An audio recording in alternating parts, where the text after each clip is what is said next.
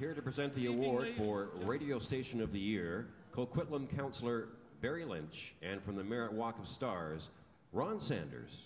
Good evening, ladies and gentlemen. It's good to be here from Merritt. Uh, we're having a party again this year. And good evening, ladies and gentlemen. Just have to be take a few moments and just welcome to this great facility, this great city.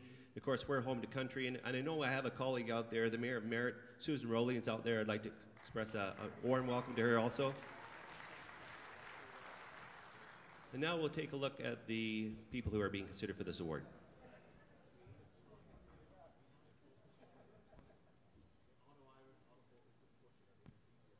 New Country 93.7, JRFM. The Wolf 97 FM. Country 103.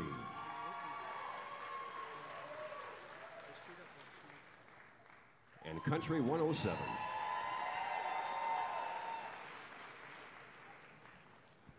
Giant FM.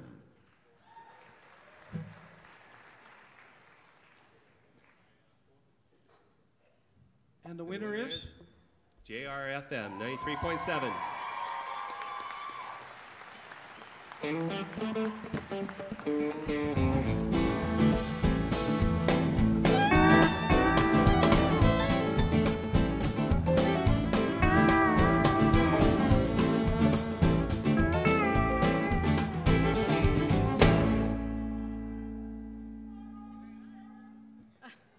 Love you too.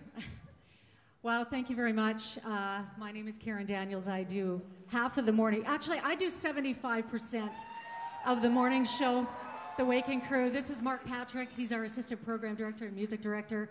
And I think what we really want to say is that the talent in BC country music is absolutely amazing right now.